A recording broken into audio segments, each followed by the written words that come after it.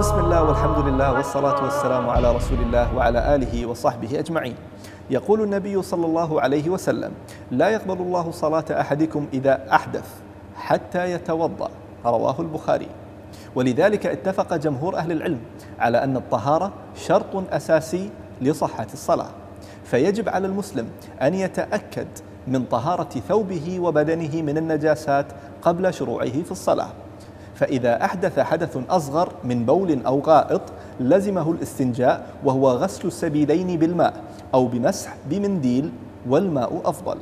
ولا يلزم الاستنجاء عند خروج الريح. وكيفية الوضوء الصحيح كما ورد عن النبي صلى الله عليه وسلم.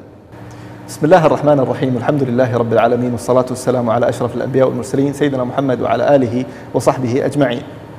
نأخذ الآن خطوات الوضوء كما صح عن النبي صلى الله عليه وسلم. فاولا استحضار النية والنية محلها القلب كما أخبرنا النبي صلى الله عليه وسلم. ثم قول بسم الله ثم نبدأ.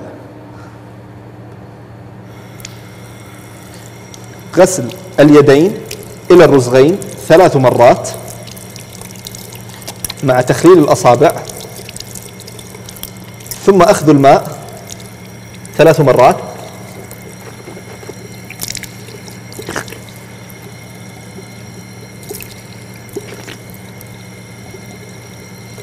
ثم استنشاق الماء ثلاث مرات في الأنف. ثم استخراجه أو استنثاره من يد أخرى.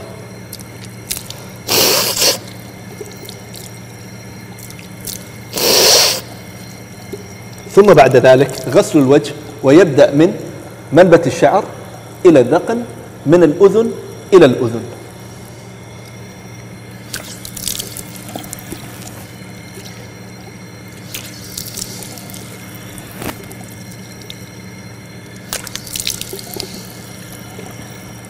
وإن كان في الوجه لحية أو شعر فلا بد من تخليل هذا الشعر.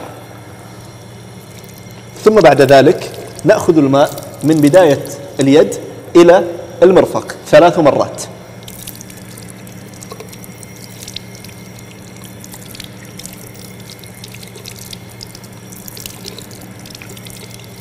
ثم يد اليسرى.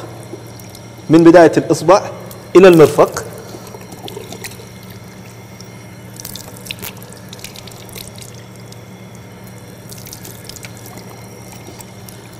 ثم بعد ذلك نأخذ الأيدي المبللة ونمسح به الرأس من بداية الرأس إلى القفاء ثم نرجع مرة أخرى هكذا وهكذا. ونأخذ الماء مرة أخرى بالأيدي المبلولة ثم نمسح به الأذنين هكذا. وندخل السبابة في خرق إذنين ومن الإبهام الأذنين الخارجيين. بعد ذلك غسل الرجلين إلى الكعبين ثلاث مرات ونبدأ باليمين. وتخليل الأصابع عند الغسل.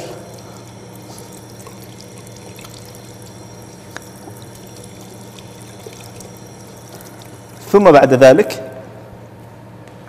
الرجل أو القدم الآخر.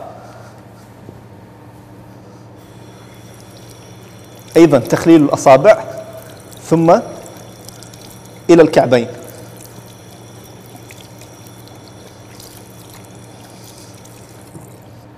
وعند فراغ من الوضوء يسن أن يقال أشهد أن لا إله إلا الله وأشهد أن محمدا عبده ورسوله.